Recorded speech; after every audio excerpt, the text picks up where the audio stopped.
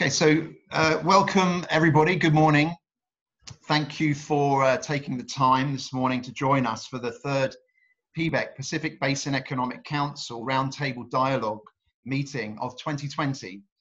Um, obviously, this is a virtual webinar. It's, it's something that uh, most of you are now getting familiar with. If it's not on a daily basis, it's at least a few times a week. Um, and we are joined by members and friends from across the globe today which is an obvious benefit of this uh, online platforms that are being utilized more and more. Um, and we look forward to obviously still resuming face-to-face dialogue in not too distant future. So today, uh, in a second, I'll be handing over to our chairman, Andrew Weir, for opening remarks. But we will be joined then by our special guest, as you can see, our colleague and uh, from APEC Secretariat in Singapore, the Executive Director, Dr. Tan Sri Rebecca Fatima Maria, the First Lady, in fact, to hold such a position at APEC. So we're really honored to have her today to give us a quick update on the uh, progress of APEC 2020 in Malaysia, uh, despite the COVID-19. Um, I saw that you were busy last night, Rebecca, already with the SOM meeting. yes. You were tweeting yes. uh, images of uh, global global uh, yeah um, participation yeah. through virtual means. So yeah. it's, a, it's, really good to see that. Um, obviously, we're conscious at PBEC of webinar fatigue. Hence, we've instituted different means um, and a variety of means of which to stay connected and engage with our members. I hope our members are enjoying that and making use of all the different channels that we are on, on LinkedIn official website and our newsletter now that's going out on a monthly basis. So without further ado, I'm going to hand over to our chairman, Andrew Weir, for opening remarks. Mr. Chairman. Thank you very much, Mike, and a very warm welcome to everybody. And uh, a big thank you, Mike, to all the efforts you've been putting in, uh, building on the great base Debbie uh, put in place. Um, and I think um, we're very comfortable with how vibrant um, PBEC is. So thank you very much. Can I just check you can hear me, Mike? Perfectly, yeah, loud and clear. Good. I was a bit worried. You looked uh, as a bit confused as, as I was speaking, and, and I realized it's because you could hear me rather than not hearing me. but uh, I just wanted to say a very warm welcome to everybody, and maybe I can make um, um, with, uh, just a special warm welcome to Rebecca. I mean, we're very honored to have you, Rebecca. Um, the links with APEC are so important, and that is one of the really fundamental aspects of the DNA of PBEC. So thank you so much for making the time. And I, I, if anybody has webinar fatigue, it must be you. So I, I greatly appreciate that. And we'll come back to you in a second. But I'm also delighted, a, uh, a, uh, um, a good friend of a number of ours, uh, Rob Kirk, is, is dialing in. Rob, Rob, as you know, led The Economist um, in the region and did some fantastic content and is now based in Los Angeles with geoeconomics. And I'm delighted, Rob, through the help of Anson Bailey, has agreed, rather like Ben Simpfendorfer, to provide a very interesting sort of updated strategic slash economic analysis as part of the membership.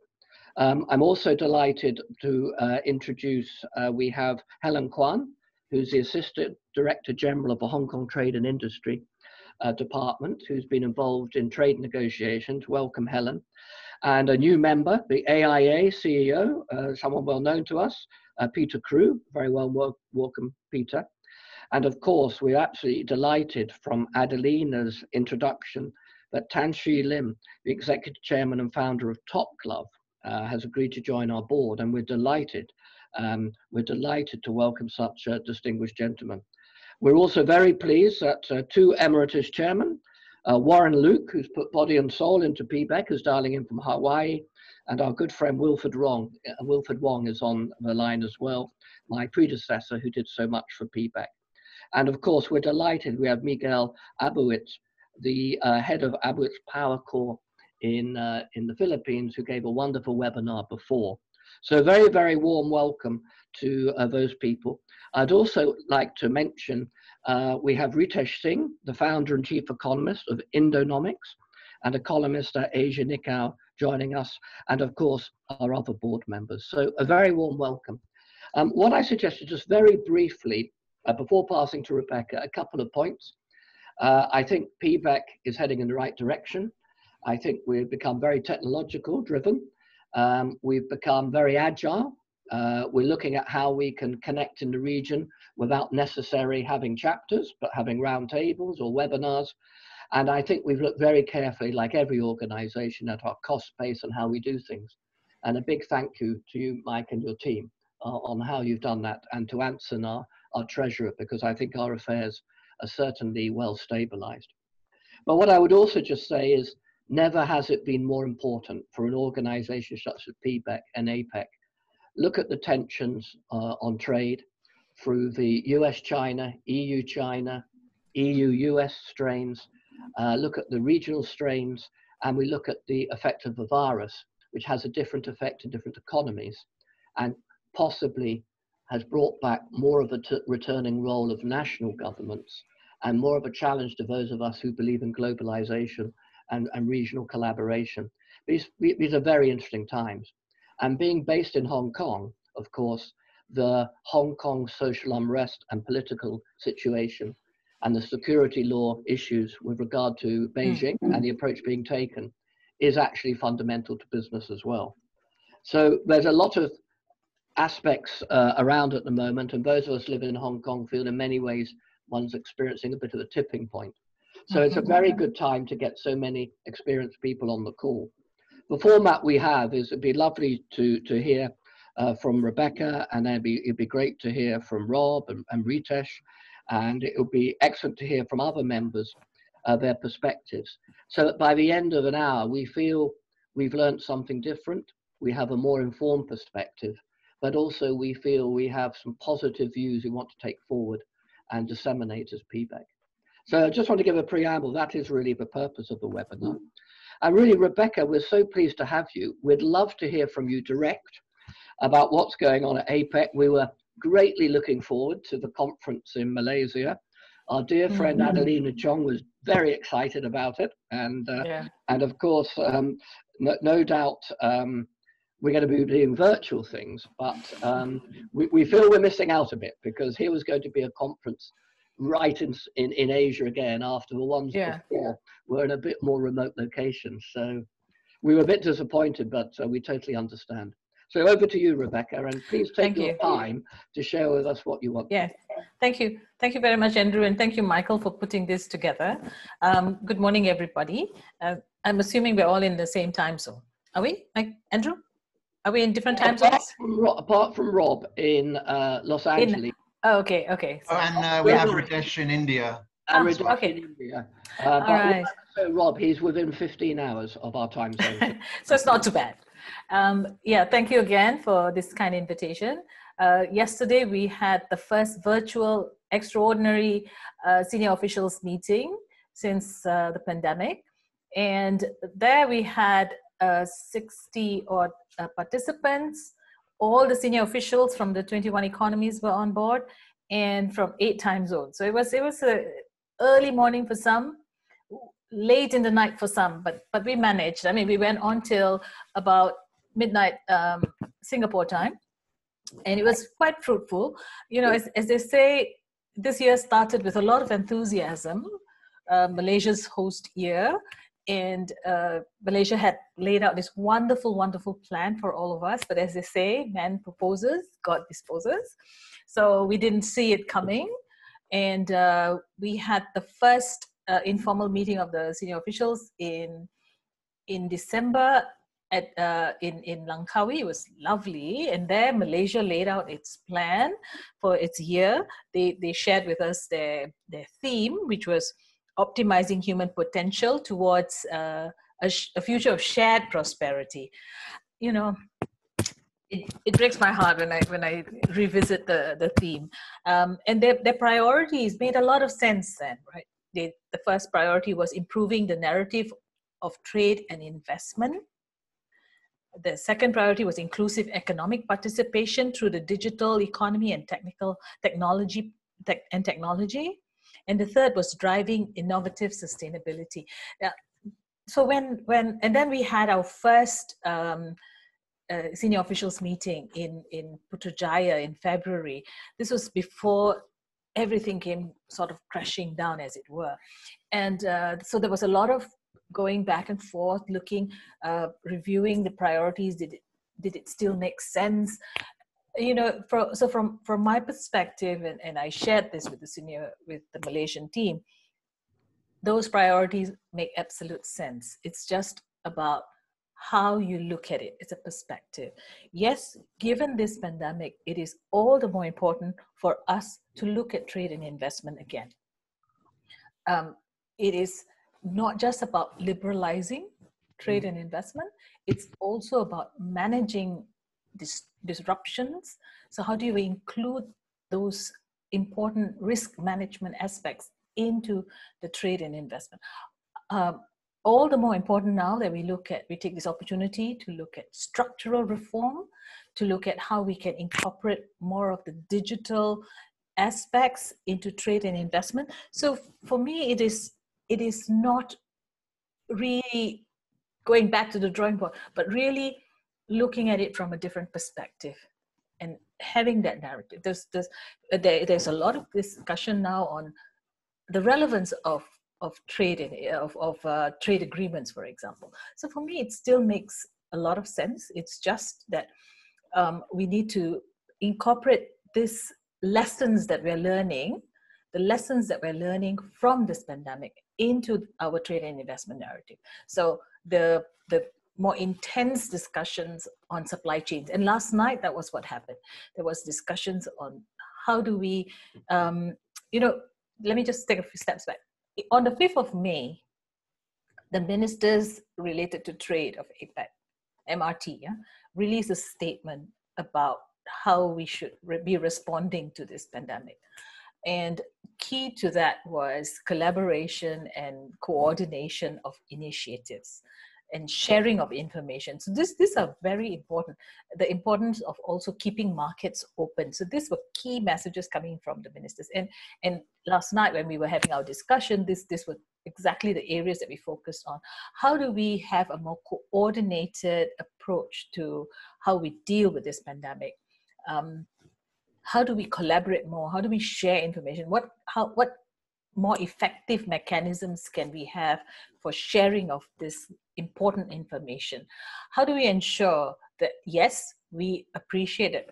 each of us uh, are having challenges in this time, but how do we manage and how do we you know deal with the need to protect our our own first the livelihoods of our own first so there is a balance so the balance uh, between having that business business needs an open economy but you also have these constraints about looking after your own. So that kind of delicate balance so those are some of the things that we discussed. Um, supply chains. This this calls into question your supply chains. Uh, concentration is that an issue? How do we manage this this con- issue of concentration? Should we include expand it to be more diverse? There's the question of uh, economists looking at onshoring. Is that an answer?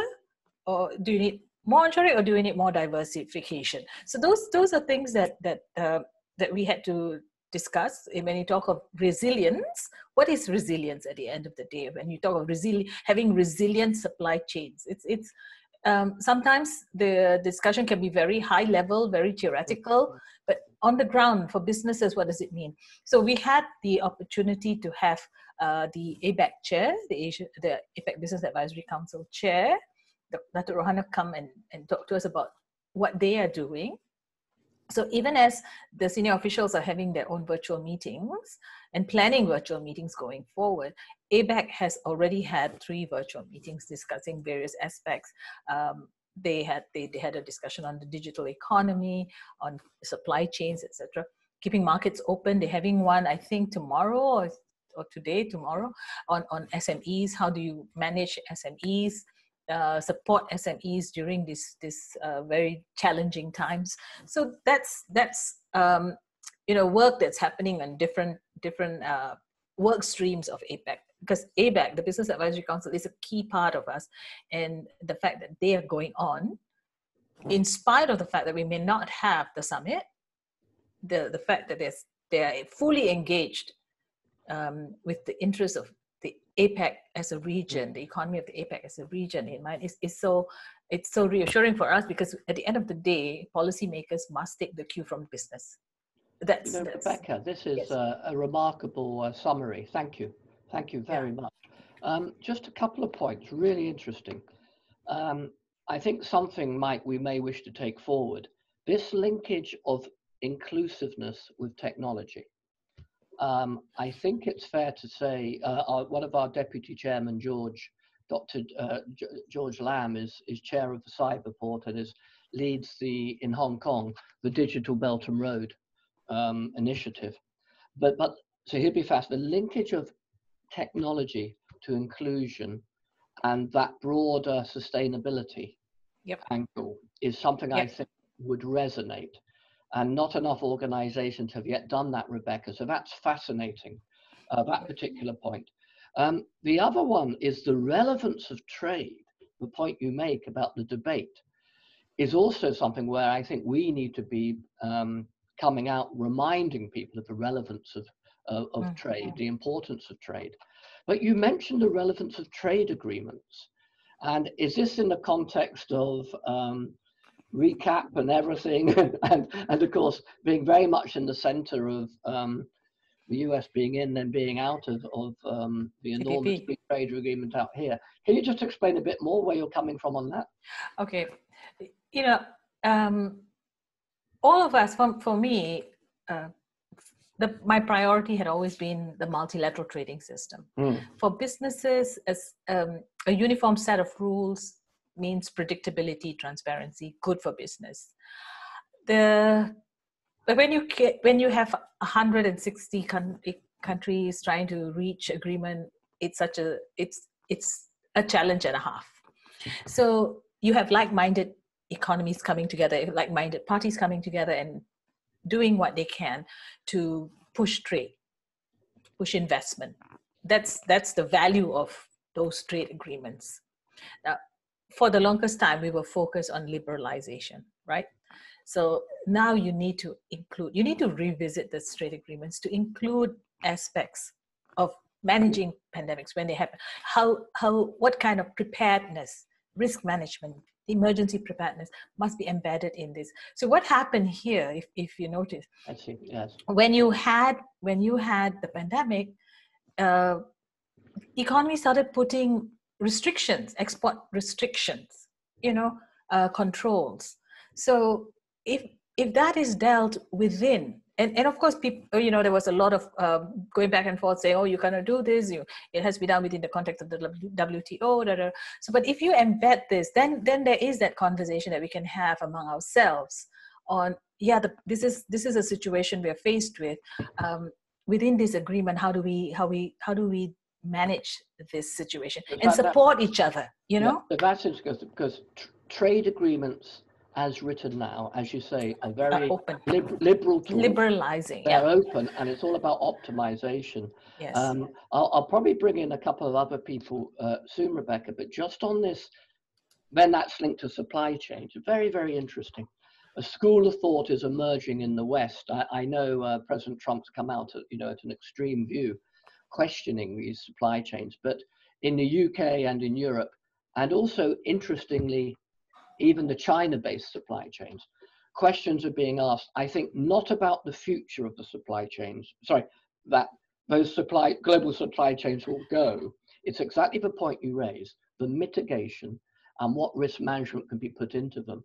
And something which has been um, coming up in Europe in particular is it's how to get cushions and circuit breakers and um, really just um, how to mitigate the reliance on one part of the chain. And uh, I, my, my suggestion, I'd be interested in your view, Rebecca, and then maybe we can bring Rob in, would be that probably supply chains and global trade would largely share the same shape as before, but there'd be a lot more checks and balances and a lot more um, risk management and uh, circuit breakers in there to protect national economies. Very interested in your view, and then maybe we could open up to Rob.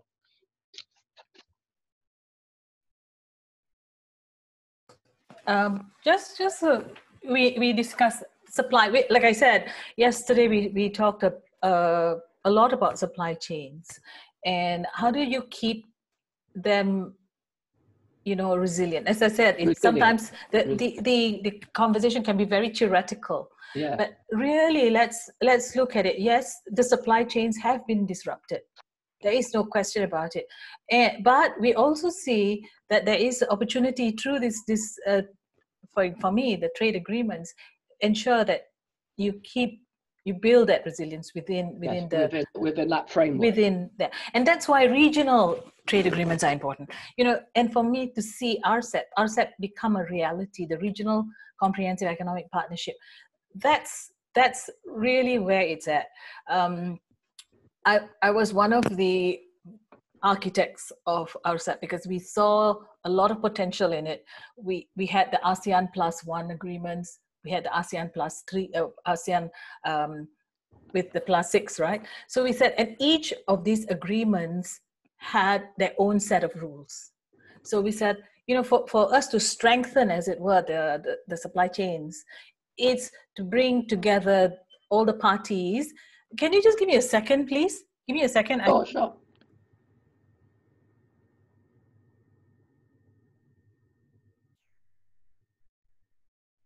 I think we've lost Rebecca for a second though. Yeah, Andrew, I think she just had to take a quick call. oh, well, to... look, in, in that case, could I suggest, um, I, I think this would be a very good time to bring you in, Rob.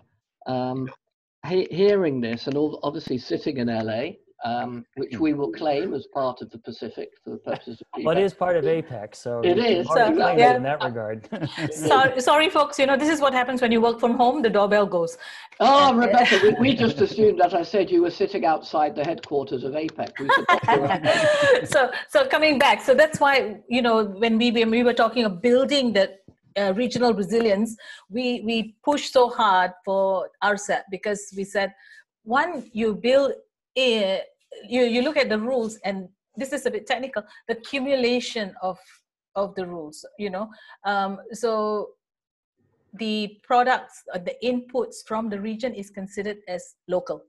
Yeah I, so you get better I, market. You understand that? So that's that's why that was so important for us and that is one of the key strengths of RCEP yeah. and and that in itself will help you build that that resilience that we're talking about. Yeah. otherwise I, what are you you know what are you saying what are you, you doing? Know? i think rebecca we may well come back to you in the future on rcep because it's been something we've been getting our minds around. You sound like you're a good advocate. Rebecca that's wonderful. Thank you so much. Uh, if i could just bring in rob now um, in la and we, we, when you were offline we were just joking. We definitely claim that as part of pbec um, rob sitting where you are uh, as we emerge from, or do we emerge, you know, different paces of recovery, uh, different stages of resilience uh, on, on the virus, a lot of narrative about future of trade and supply chains.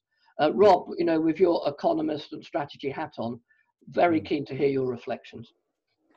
Wow, well, that, that's kind of a tall order, Andrew. Uh, I guess just picking up on what we were hearing from Rebecca, um, I guess three points real quickly. One is uh, it's encouraging to hear that it's kind of enthusiasm about RCEP. The general consensus, at least as I've heard it among economists and analysts, is that that is, and it takes nothing away from the hard efforts that I'm sure have been going into it, and it sounds like Rebecca has directly contributed to, but that it is less of an agreement and, and uh, represents less impact than what we've already seen with, for example, the CPTPP yeah. And the CPTPP being something that's really fundamentally transformed things, even with the US dropping out. And I think that's another interesting area for discussion. Will the US maybe come in after, say, the general election later this year, which seems likely to go towards a new direction in leadership? Uh, but in any case, um, RCEP is definitely encouraging in, the, in that it's trying to encompass yeah. uh, a much broader array of economies uh, notably China and India. So that's kind of the groundbreaking part of it. I guess what a lot of analysts are more skeptical about versus the TPP, which notably a lot of key APEC nations, including Malaysia, of course, are part of, is that uh, CPTPP uh, TPP really has a kind of regulatory framework uh, built around it, where, where RCEP seems a little more conceptual. So I guess you could call the former more aspirational, and what we have presently with the Trans-Pacific Partnership, something that's that's more uh, truly yeah. Uh, integrated. Yeah. And, yeah. and, then I would I would just on top of all this, and I'll you know we, we go on and on, but just to leave some items there to think about. So we've got you know the the current agreement, this aspirational agreement, and of course within this mix, uh, and those are all positive, regardless of which one you think is more strong or or will bring about more results, or if they will in combination perhaps bring about a really positive change. And a quick sidebar uh, I was in Beijing at the time that, I mean, based in Beijing and had been there for some 10 years. Uh, China was very frightened about the TPP when it included the US. and that was one of the, and you noticed as the TPP was beginning to take shape, uh, they started really getting on board with RCEP. So anyway, there's some interesting mm. dynamics there. But in yeah. particular, what, what US commentators, uh, whether you're looking at things economically or politically, I mean, Hong Kong has been on everyone's mind the last few yes. days, uh, owing to the um, National People's Congress a decision to what, according to I, I, think, is by and large a consistent Western analysis, mm-hmm. that uh, China has elected to go against the terms of the joint declaration dating back to 1984. And this is set to pose some very radical developments in terms of U.S. China, specifically U.S. Hong Kong relations, and and that's I think going to be over the next few weeks probably the number one thing yeah. regarding U.S. China slash Asia, because of course Hong Kong is more than just a platform into China, although that what that's what it's historically best known for, and its greatest value certainly to the mainland is. Hong Kong is really a platform for all of Asia, as I'm sure is one of the reasons Andrew and, and the team have uh, the organization based in Hong Kong, and, and I know APEC, you know, has a lot of integrated uh, activities with Hong Kong. So I, I, would just leave on this point, and I'm happy to discuss further if people have other yeah. aspects of what I'm touching on uh, of interest to, to delve into uh, in more detail. But uh, what we have now with the uh, decision by Mike Pompeo, Secretary of State, to notify Congress that Hong Kong interestingly enough, before there's even actually been details about the new national security legislation that we should be hearing about, I believe, today uh, in Asia or Beijing time. Anyway, um, that already Hong Kong has lost its autonomy. That kicks in a whole host of uh, new policies towards Hong Kong. Number one, uh, relating to this organization, is that it looks like Hong Kong is uh, in line for losing its what's essentially an FTA, a free trade agreement with the U.S. Now, I'll put one caveat to all that, and that is uh, U.S. President Donald Trump. Uh, not only is he mercurial uh, by nature, but the power of his office allows him to make selective choices about how to implement this. So it doesn't necessarily mean automatically Hong Kong will lose all of that status, but it could. And so that's yeah. going to be this new um, yeah you know element yeah. to to all the tensions that are going on yeah. but i'll and i'll conclude on this curiously enough uh, ex china hong kong with potential positive long-term ramifications uh, just like uh, rebecca was mentioning about supply chains and so forth just as we've seen with the us china trade war a lot of spillover effects are actually positive for particularly well, asean yeah, countries that's right yeah so we could see out of this mm. although it's nothing i think anyone really wanted um, given where Beijing and Washington are, are standing off against one another, you could see a lot of movement towards Malaysia, Thailand, Vietnam, yeah. Philippines, you know, those economies. Yeah. Well, it's interesting, Rob. We've raised that in uh, in previous calls. We see it. I, I, see it in my own client base. Um, even very strong mainland companies looking to diversify, yeah. to take their their equation, sorry, to take their activity away from the equation of US mm. China trade yeah. tariff calculations, all of this. Um, but what one has seen is an increasing challenge of other countries in Asia um, by, by, the US. But can I just ask you, Rob, um, mm. moving you on to political economy? Sure. Um, you know, only a few years ago, everything was fine. Um, yes, maybe national national policies in countries could have been better at mitigating mm. effects of globalization, but the world economy was going well. Then, initially, when uh, President Trump challenged China, I think most of us thought it was saber rattling and mm. then a deal would be struck. And what has happened is the Pandora's box has been opened and it's very hard mm. to close it. And now it's become a truly partisan issue with Hmm. almost a rush to the bottom of who can attack China the most in the Mm. political sphere. Um, a question for you, Rob, is um, is there the sense that once the election is this is obviously going to carry on at least to the election, is there a sense that more common sense globally can prevail on some of these relationships once certain big elections are out of the way? Or is this seen as really the way of things to come for ne- the next five, ten years?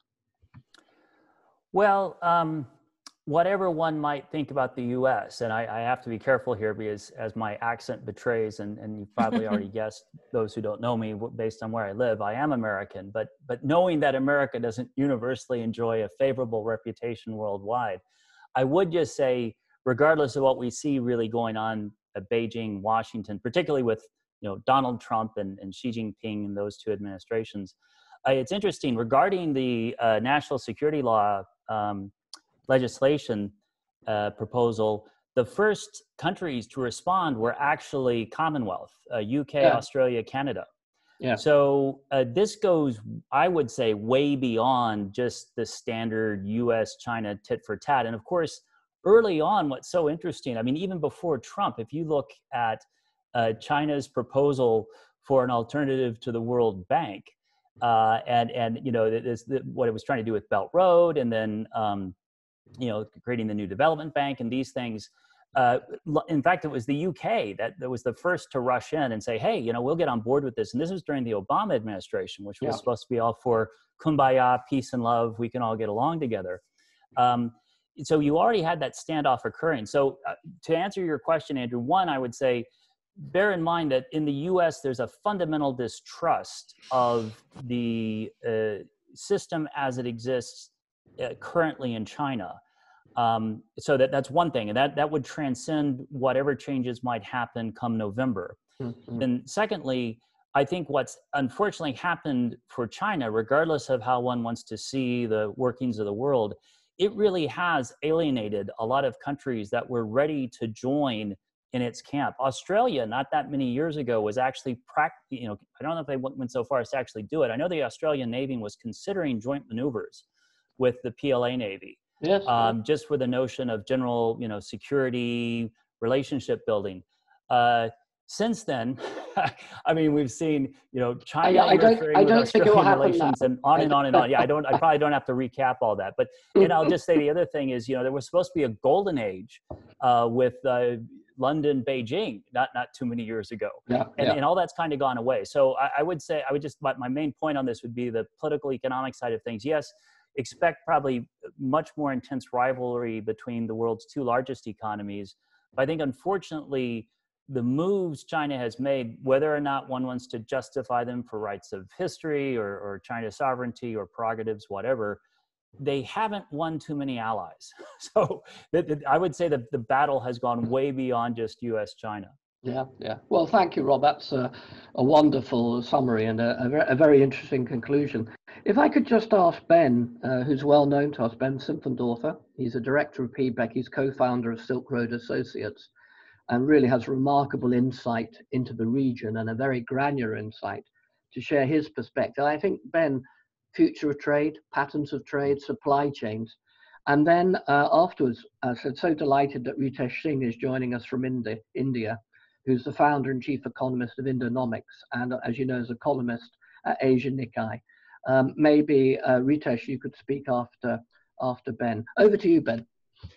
Uh, Rebecca, Andrew, uh, Rob, thanks very much for some, some insightful comments.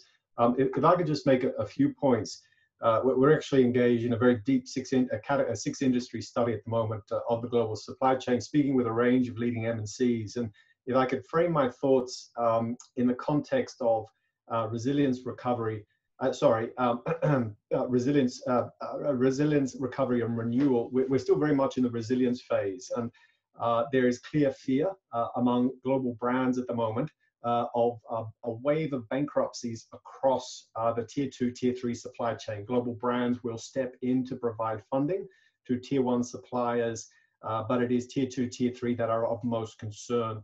Uh, tier one suppliers at the moment struggling with weak demand, still have um, employees on the books, but production lines are idle. uh, the situation cannot continue for long. Um, and so there are fears over the next few months. As we move beyond that, we do see a, you know, a gradual recovery in global demand. Uh, then, then, we move into recovery and finally resilience phase. Resilience is very much about moving supply chains uh, in, in, response to both pressure on uh, costs, but, but also clearly um, US China trade tensions. Uh, consumer goods are already moving. We've seen smartphones move into Vietnam, computers uh, into Mexico. Uh, these are trends that were present um, uh, for a number of years, but will be accelerated uh, over the coming uh, few years. What becomes more interesting then is how the industrial machinery sector, a very high value sector, begins to respond. And certainly in my conversations, leading MNCs are now rethinking their supply chain uh, the challenge here is that much of their activity is capital intensive. They may own their own factories. Supply chains are not always quick to move. Uh, but, but clearly, again, that there is fear uh, that uh, reliance on uh, a single source Chinese supplier is no longer the way to go. Uh, the larger industrials are looking to build out more diversity in their supply chain. That means one or two things. Well, it means two possibilities either to identify alternative suppliers outside of China uh, or to reshore production. Reshoring production is much harder than people think. There just isn't the capacity back in the United States. There isn't the skills base uh, in the United States for some of these products, but certainly not all. What's likely to go? Uh, PPE and pharmaceutical production, uh, high-end um, machinery equipment, especially anything that it has uh, or touches on the, uh, the, the, the energy sector. Uh, I guess, you know, as my final point, it's worth remembering that the US is the world's largest market. It's not the only market. Uh, and for, uh, in my conversations with uh, big European and Japanese companies, uh, they are absolutely committed to China. Uh, China is more often than not their largest market, their fastest growing market, the market where they see the R&D cycle as moving fastest. Uh, and so they continue to invest uh, in the market and not only for local sale, but also for sale to other emerging markets. And in fact, China's exports uh, of uh, machinery products uh, into the emerging markets, the Belt and Road markets, has been rising fairly rapidly over the last few years, largely at the expense of the United States. Uh, many of these products are actually produced by American, European, Japanese companies, and they're unlikely to relocate that production home. So I, I, as I, you know, as, as I mentioned, really it is a story about short-term resilience. How do we get through the next wave of bankruptcies, um, uh, and, and, then renewal? How do we think about supply chains? And, and, very much we need to distinguish both protecting ourselves against uh, or from uh, U.S. Uh, trade measures, uh, but at the same time recognizing uh, that there is a bigger market out there. China specifically, the emerging markets more generally, and European, Japanese manufacturers are certainly very focused on that opportunity. Thank you. Thank you, Ben. A, a fascinating insight. Ben, um, without asking you to give away too many of your trade secrets, what type of things are you being asked to look at? What type of sectors and themes are you being asked to look at by your clients at the moment? So um, look, the consumer goods sector has been moving for a while. Uh, where there's greater interest now is that industrial goods sector, which has been reluctant to move. Yeah. Um, and the, so uh, it, as a product category, that's one area. As a country category, for the first time, we're get, having more robust discussions around Indonesia and the Philippines. Yeah, uh, yeah, whereas yeah. primarily it was Vietnam uh, and to a lesser extent Thailand. Yeah, Cambodia. So, yeah. so we're getting genuine momentum into those countries. There are challenges of manufacturing in those countries. There are serious constraints. Um, and equally, uh, because we're now not just getting consumer goods companies talking about moving into Indonesia or the Philippines, but also capital goods company, we're going to see some serious bottlenecks uh, around land, labor, uh, logistics. Uh, leading companies are going to be able to get in uh, and, and profit uh, laggards will absolutely struggle. Um, but that in turn creates a, a, second wave of opportunities, particularly around professional services and financial institutions to help these countries build out yeah. uh, scale at a faster pace. Yeah, thank you, Ben. I mean, just for, to share the, with others, I, I chair with the Trade Development Council here a working group on industrial parks in the region. And interesting, there's over 160 industrial parks financed by the PRC government in the region, and obviously hundreds of others. Um, increasingly, I think one's going to see very proactive measures being brought in uh, by national governments to promote their own uh, industrial parks uh, and industrial zones, and increasingly free zones um, will become quite a major policy tool. I, I think, Mike, it'd be very useful um, if we could discuss and then uh, maybe have a session on industrial parks uh, or other sort of special economic zones in the region. I think that'd be very useful. Um, moving on. Okay, thank you, uh, Ben. That's wonderful. Thank you so much. And Ritesh, a very warm welcome to you, my friend. And really looking forward to hearing, I think, really two things. Uh, your perspective, having heard uh, what we've been talking about so far, but also your sort of on the ground view of what's happening in India and how that's being navigated through. So uh, we are, uh, are you able to hear me? Hello? Yes, Ritesh. We can hear you perfectly, Ritesh. Uh, good morning. It's a little early in India and we are still under lockdown and there is no serious control over the coronavirus and still there is no clarity on how and for how long it will continue uh, uh, till we have uh, contained the viral uh, epidemic. But India is gradually opening up because the cost of lockdown, the economic cost of lockdown is very, very high. Uh, you can see the media reports about lots of migrant workers. Uh, they are seriously stressed and it's a big country, diverse country, and lots of states uh, related issues, pulls and pressure. Uh, hello? Hello? We can hear you. Yes, keep going. Okay, okay. So uh, in the meantime, uh, India is also trying to uh, take advantage of some of the global manufacturers. Uh, it wants to invite some of the global manufacturers to have an alternative manufacturing base in India because uh, there is too much dependent on China. Uh, even in case of India, we are too much dependent on China for so many goods from solar panels to electronics, mobile phones. So uh, Michael wanted me to speak about what are the challenge in inviting uh, global manufacturers to India. So, yes, yeah. So one of the major challenge, India has obvious advantage like cheaper labor, a very large and growing market.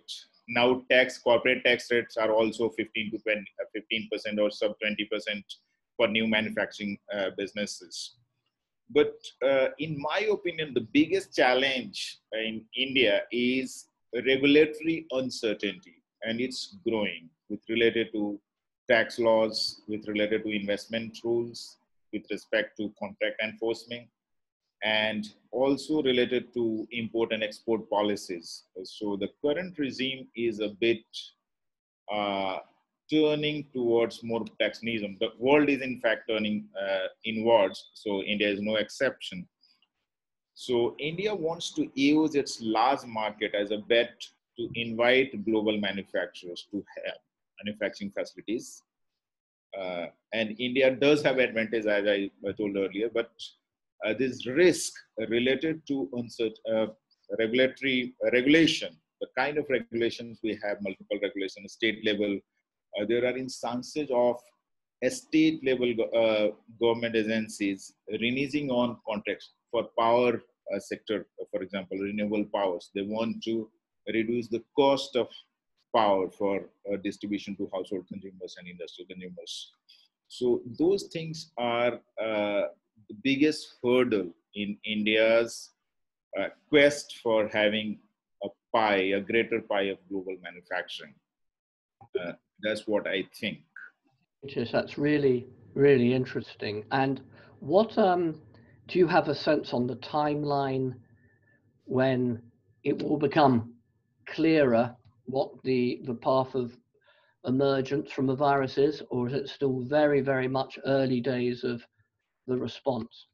Yes, I think it will take another quarter uh, to be uh, to let everything normalize, especially when it comes to economy, because uh, I do foresee further extension of the lockdown, maybe for two weeks more. Though uh, we are uh, trying to open up the economy in a guarded way. But the problem is that there are hot uh, spots like Maharashtra, Mumbai, you must have heard, and Delhi. Those uh, regions are very important in terms of industrial and commercial activities, and those are the most affected areas. Yes, yes. So even if the whole economy is opened up, it would be very difficult to open up Mumbai and Delhi and Chennai, which are the industrial hubs. Yes. So yeah. that will uh, be a problematic. And of course, uh, logistics uh, has been a great challenge for India for long. Yes. And now, uh, because of the reverse migration from, uh, there are some states which supply laborers to industrial uh, work, states like Maharashtra, Gujarat, and Tamil Nadu. So uh, eastern states like Bihar and UP supply laborers, they are returning because of the lockdown. So labor shortage is going to be a bit of a problem in many of the industrial hubs like Mumbai, Chennai, and even NCR, uh, Delhi region. Yes, yes. So uh, this is one big challenge that we are going to face uh, going forward. Well, I think, uh, Ritesh, thank you so much. Very interesting analysis and very keen to keep that, uh, that discussion um, carrying on. If I could just ask, I, am aware we need to, to finish at, at the, the bottom of the hour. Um, re really, I'm just, I am fascinated to think further about uh, in, in the region. And uh, I just thought um, maybe we could just pick up a bit on maybe the situation we're seeing uh, the, the ASEAN perspective. And maybe uh, I could ask uh, Adelina and uh, Tan Sri Rainer if there's anything particularly any perspectives you have hearing is with regard to the role of Malaysia, the themes you're seeing in Malaysia, whether what you've been hearing so far resonates. Maybe I could ask Adelina first and then maybe Tan Sri Rainer um, afterwards.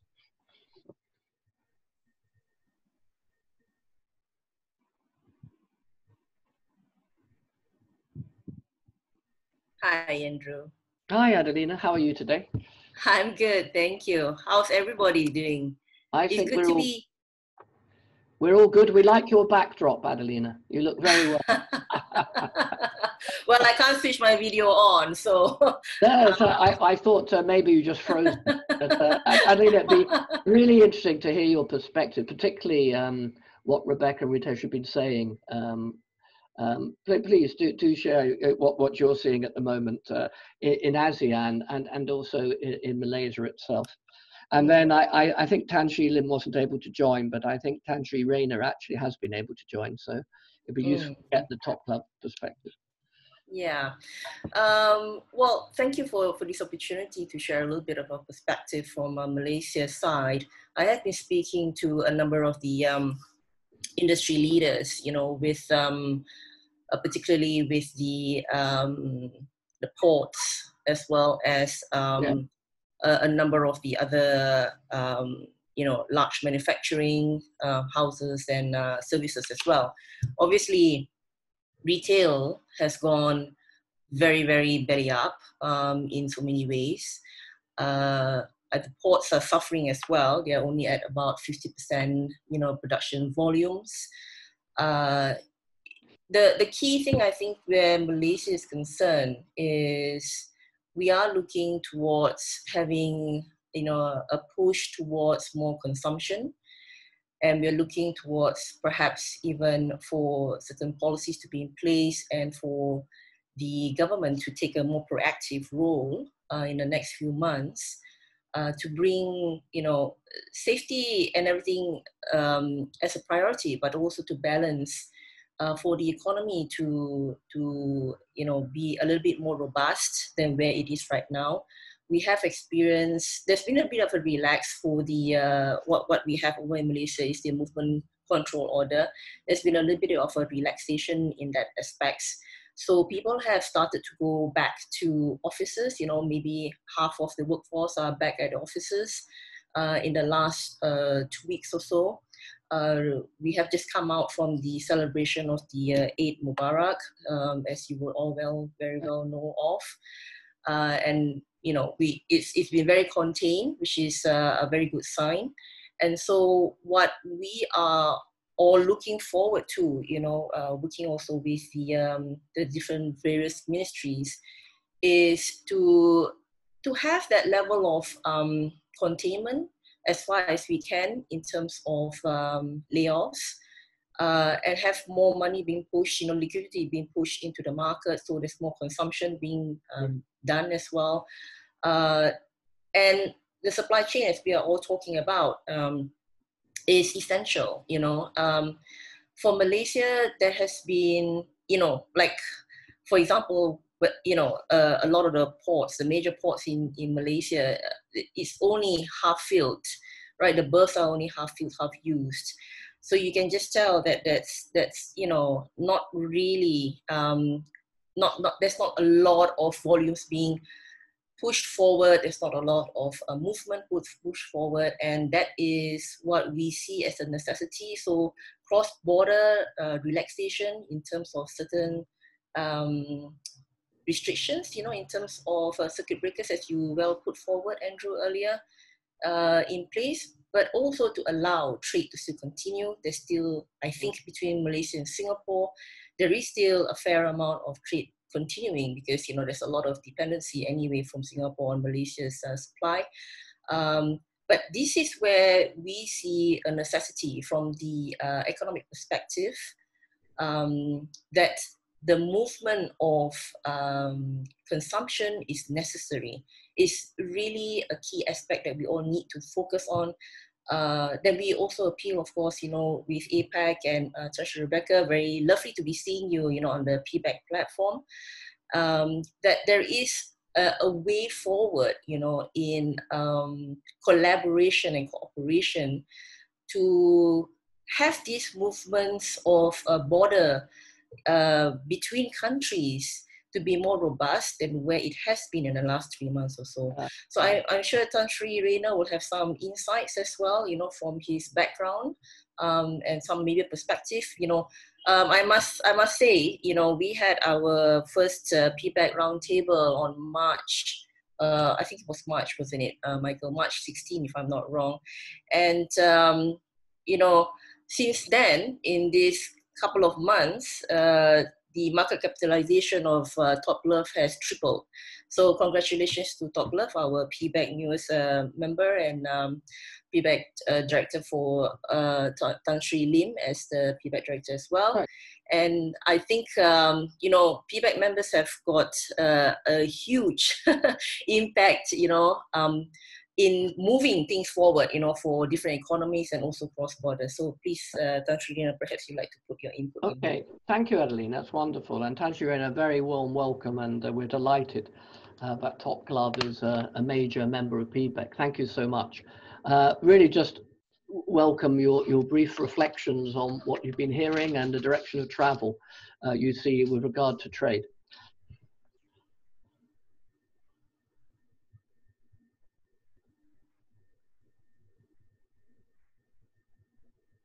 I think actually um, we've got a bit of a techno technical hitch there. We got um, yes, we've got a bit of a technical hitch. I think, Mike, I just as we're approaching, we can't hear Tan Sri Rainer there, which is a pity.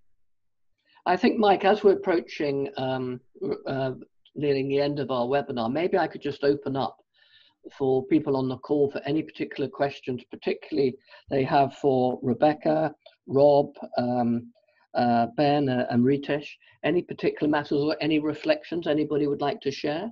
I think there's a lot of content here which we will package and um, put out there as part of being the independent voice of trade uh, in, in Pacific Basin. Can I just see if there's any other questions?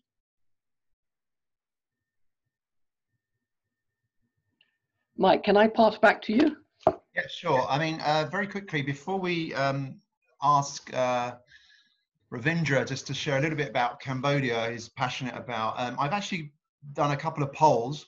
Um, I'm going to activate them now. It's three questions quickly that I'd like the participants just to answer. They're multiple choice. You'll see them on your screen coming up, hopefully. And the first one is uh, how do you feel looking ahead at the second half of 2020 economically for China and Southeast Asia? Are you optimistic, opportunistic, cautious, depressed, unsure what to do, bullish? If you could uh, start to answer some of those. Um, Uh, you, you missed you've missed one. Manic depressive. You've missed one. The second question is uh, Is Asia Pacific geopolitics affecting or starting to affect your business sentiment and decision making? So that's a simple yes, no, or maybe. And then the final question is What factors are most concerning you as, econ- as economies exit lockdowns? And that's multiple choice. There's you can choose more than one uh, that you're concerned about or, or believe is going to be affecting, in particular, trade um, in the industry. So I see people are starting to vote. That's great. If we can get a few more people, um, and we'll keep that open for a second. So while while people are voting, uh, perhaps I could ask. Let's look um, at having Thomas first quickly. Just if Thomas is there, I'm going to activate Thomas Wong. Is Thomas on the line? Can I see Thomas? Thomas has left. Okay, Ravindra then. Okay, Ravindra, I'm switching you on. Can you hear us, Ravindra? Hi, everyone. Hi, morning, Ravindra. Can you give us a quick uh, two-minute brief on uh, what you're seeing at Cambodia? Ravindra, by the way, is the founder of the Cambodian uh, Society in Hong Kong. Ravindra. Sure. Thanks, uh, Michael. Hi, Andrew. I will try to be concise because uh, of the of the of, of the time. So um, I will start first with the impact of COVID-19 on the Cambodian economy, and then some governmental measures. I think that in Cambodia, tourism uh, has been one of the industry hardest hit. Uh, according to ADB, uh, the decline in tourism revenue is around 900 million. It's equal, equal approximately 3.5% of Cambodia GDP. So obviously, its knock-on effect on the retail, entertainment, and also other sectors as hospitality. Uh, and I guess in Cambodia, in addition to the impact of COVID-19, uh, the, the European Union is also partially withdraw trade preferences uh, with the EBA scheme. So mainly uh, recently uh, governmental measures has been taken. Uh, just, just yesterday have received from the Ministry of Economy and Finance uh, that it will establish a credit guarantee fund, which is a fund of around 200 million US dollar uh, this fund may guarantee loans uh, through banks and financial institutions. But also, uh, it has been supported an addition, additional financing of 300 million US dollar support to be a catalyst uh, to promote growth uh, in key sectors uh, during and after the crisis. From, from Ministry of Energy, it's implementing an exemption and incentive plan uh, for electricity consumptions. That's mainly uh, reached four key sectors, uh, mainly with manufacturing, trade, service, and agriculture, which allow a price of electric electricity reduce from minus, minus 25%. Uh, and also uh, from Ministry of Health, um, it will implement protective measures uh, to prevent a second wave of, of COVID-19. And, and last, uh, with the ministry, uh, interministerial committee, uh, and also um, uh, it has been announced the lift of travel restrictions for foreigners uh, coming from Iran, Italy, Germany, Spain, and, and France, and, and also the US. Thanks, Ravindra. On this, I mean, just um, in terms of any policy changes you see coming in with regard to uh, uh, trade in and out of Cambodia, and any any any insight is into where you think that may be heading, and also with regard to the supply chain question? Well, I, I mean that um, uh, mainly yeah, Cambodia, when you speak about uh, industrial zones, SEZ, um, there's, there's, there's improving uh, many new uh, uh, regulation and policies, uh, uh, mainly to open to others foreign investors, because I think that recently Cambodia has been quite tight with with China's support and, and, and obviously also with the Belt and Road Initiative. So there is Uh, uh, some uh, uh, new policies coming and, and, and, and I think that is also mainly with the impact of EBA that they really try to, to, to have more multilateral um, trade and, and, and parties.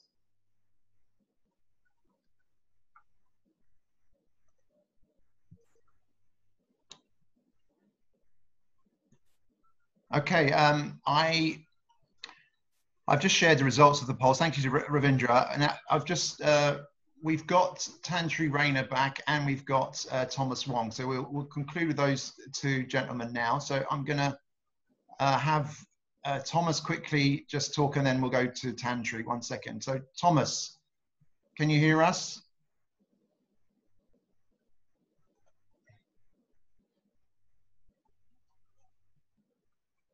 Thomas, can you hear us? Can you unmute yourself?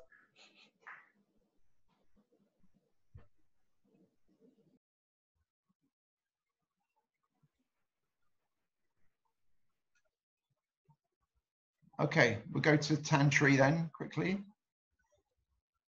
Yes, we, we listen. We're very Hi.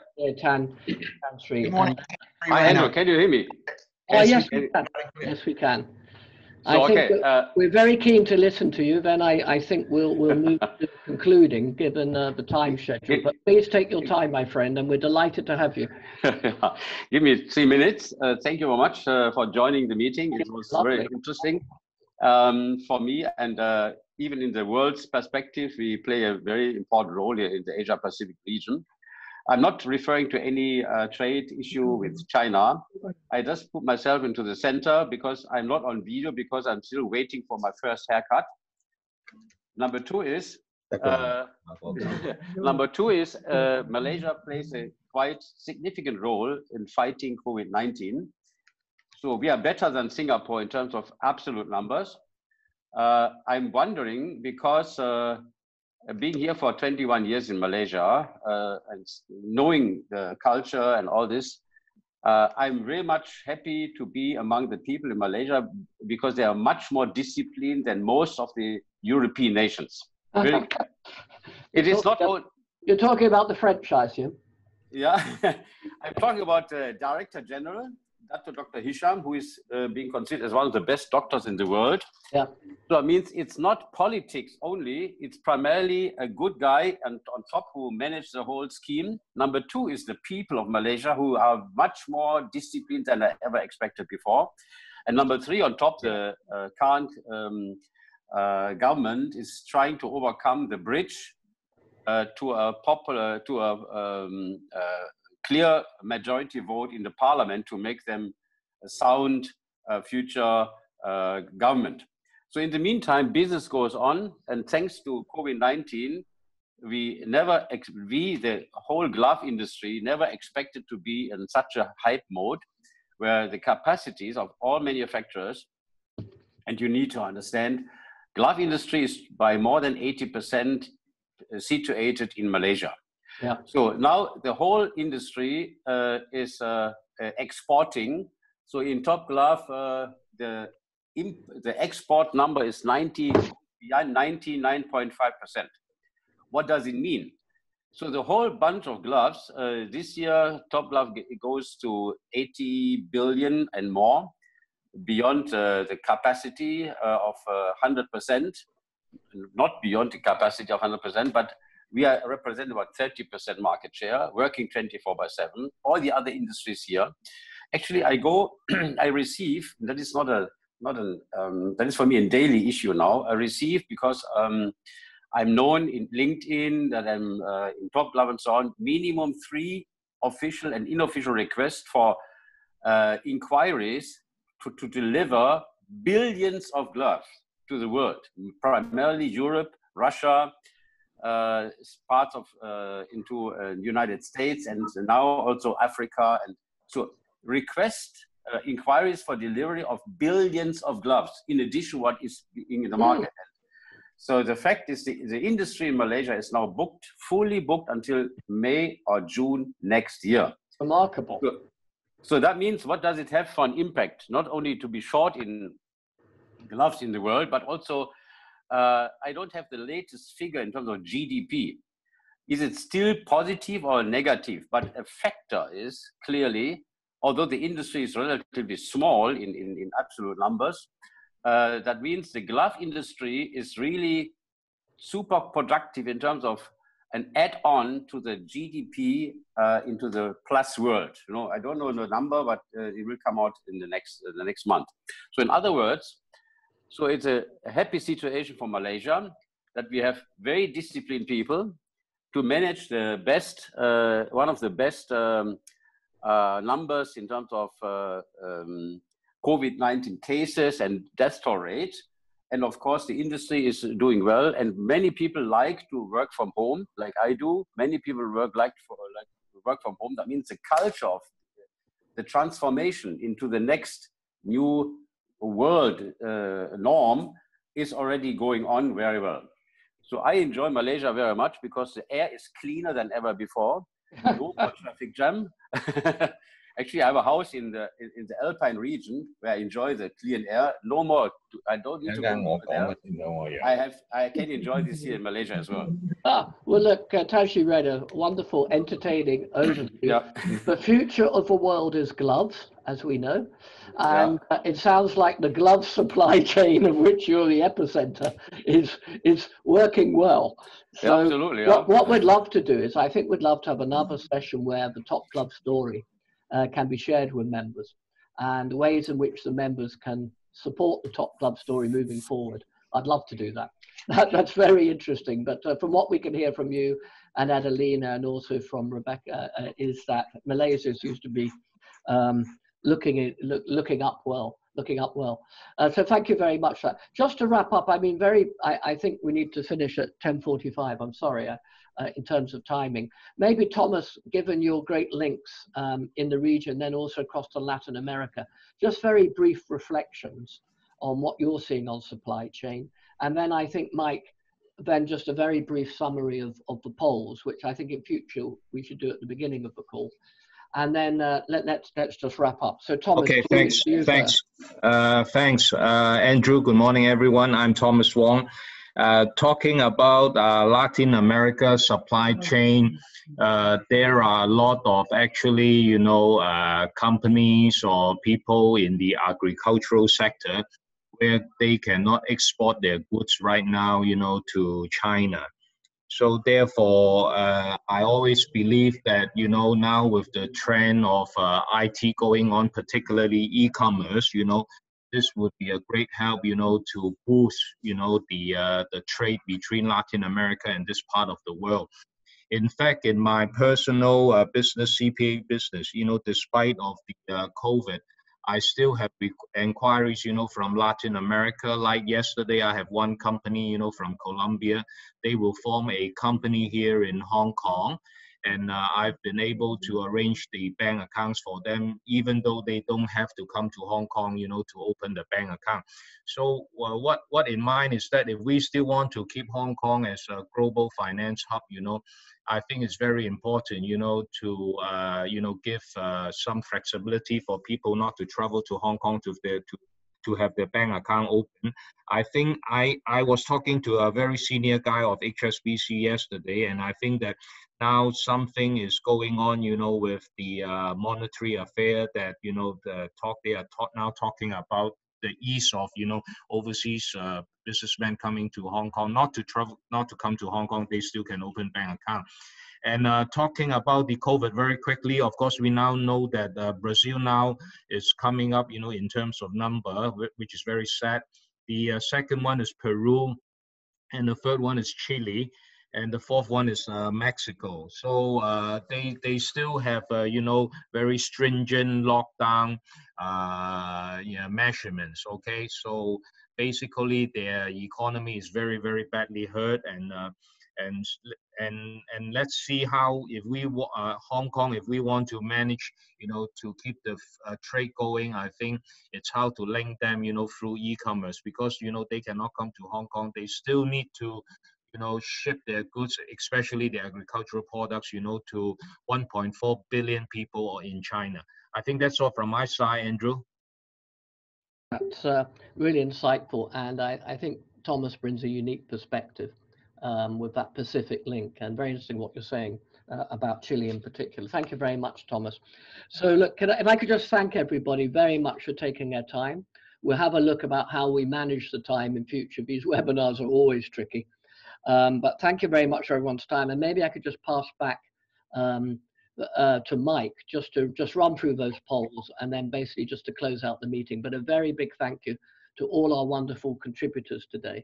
And um, I hope also for people who've been able to listen in, it shows there is an interesting narrative out there and PBEC is able to bring very interesting speakers.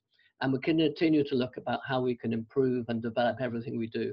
But a massive thank you uh, to everybody. And please, uh, I'll pass it back to you, Mike, just to run through the polls and then uh, to wrap up the session. Thank you, Mr. Chairman. Um, so yeah, I mean, as people can see on their screen, and the three questions have come back with some uh, key points that we can uh, further dis discuss in future uh, meetings over the coming weeks. So the first one is obviously people are feeling opportunistic but cautious at the same time in terms of uh, looking ahead at the second half of this year. Um, over 50% have said yes, the geopolitics are starting to affect their business sentiment and decision making. And the third question too came out on top, which was the obviously concern that Ben mentioned, debt levels that are coming down the pipe potentially, and the movement of people safely from an international perspective. So these are all great feedbacks that we can uh, feed into the narrative, and I'll, I'll include these in our newsletter coming up.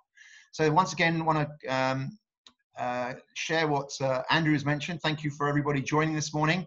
That concludes our third PBEC uh, roundtable dialogue for this year so far. Um, if you'd like to participate and, and speak in our next one or provide content for the newsletter, whether it's by video, I'm happy to do one-on-one -on -one Zoom meeting videos. We've got um, an exclusive with our Vice Chairman, Moses Cheng, coming up in the next newsletter, so look out for that, and lo lots more uh, interesting content. So thank you there. We've finished at 10.45 on the dot. Next time we'll keep it to an hour. And uh, enjoy your week. Stay safe wherever you are and uh, let's try to be optimistic despite the very good summary mike and uh, let's stay optimistic and uh, and everyone stay safe. Thank you very much and best wishes to everybody. And thank, thank you mike very much for these arrangements